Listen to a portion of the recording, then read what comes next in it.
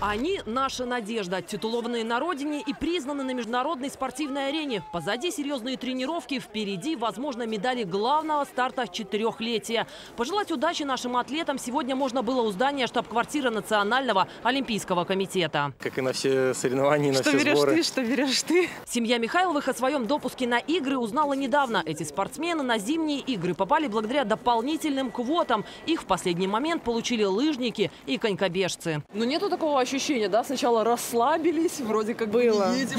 Да, уже было и смирились с тем, что не попали и уже не едем, а тут оп. Загадывать тяжело, это у меня дисциплина масс-старта, там вообще все очень непредсказуемо, потому что раньше, в прошлом году я был четвертым на чемпионате мира, а в этом году даже не смог в основной состав попасть. Всего тысяча метров льда. Эту дистанцию Татьяне Михайловой нужно проехать быстрее всех и оказаться на заветном пьедестале. Я настроена показывать свои лучшие результаты. Естественно, там лед очень быстрый. Нужно собраться с мыслями и осознать и понять, что это самый важный старт в сезоне, да и в жизни для меня. Эти игры – самый важный старт в жизни для 32 наших спортсменов. 16 женщин и 16 мужчин. Это не специально так получилось. В сборной соблюдено гендерное равенство. Административная группа отправилась в Пхенчхан заранее. Она уже подготовила для атлетов все необходимое. Учтены нюансы питания и режима, ведь это один из необходимых ингредиентов блюда под названием «Победа».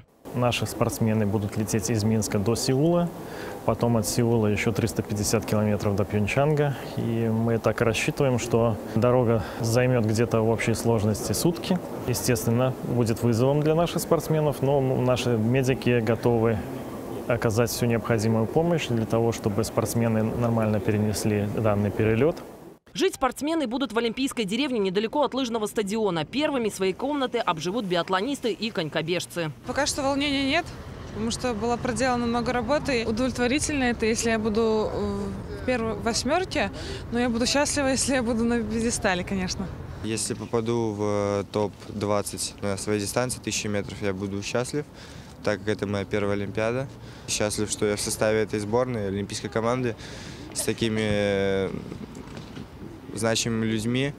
Э, Когда-то я на них смотрел э, снизу, вот, но сейчас немножко дорос и буду пытаться их перегнать. А вот одного ингредиента в блюде победы быть точно не должно. Это запрещенные вещества. Количество допинг-проб, которые возьмут у спортсменов Пхенчхане по сравнению с предыдущей Олимпиадой в Сочи, возросло едва ли не в полтора раза. Любая оплошность может стоить слишком дорого. При этом за тестирование будет отвечать не мировое агентство ВАДА, а новая организация. Ее создали несколько месяцев назад.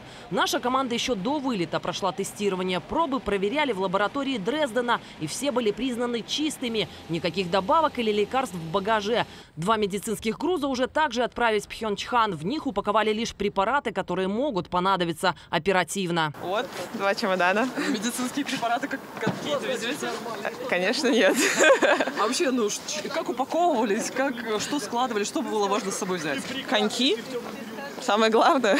Ксения Садовская с коньками не расстается практически всю свою жизнь. Ежедневно по две тренировки, каждая по три часа. Отсюда хорошие результаты в этом сезоне. Так как у меня э, дистанция 500 метров, это спринтерская работа, весь упор был на, на разгон. Рассчитываю на достойное выступление, на показать свой э, личный результат. В составе команды и один из самых опытных атлетов. Для 44-летнего Сергея Долидовича это будет уже седьмая Олимпиада. Возраст не помеха, скорее опыт. Ведь четыре года назад в Сочи он едва не стал бронзовым призером. Говорят, именно ему в этот раз доверят нести флаг Беларуси на открытие. Созрел, дадут, дадут, пронесу, отказываться, естественно, не буду. То есть э, на седьмой Олимпиаде я созрел его нести. На этой Олимпиаде главные надежды белорусских болельщиков связаны с выступлениями биатлонистов и лыжных акробатов. Есть перспективы и у конькобежцев.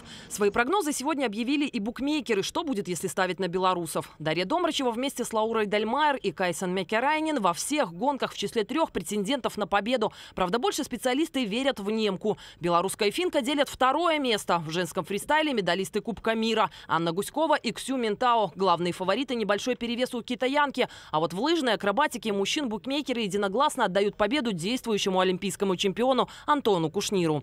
Открытие игр состоится 9 февраля, церемония закрытия 25 -го. Нам остается только пожелать удачи нашим спортсменам. Ну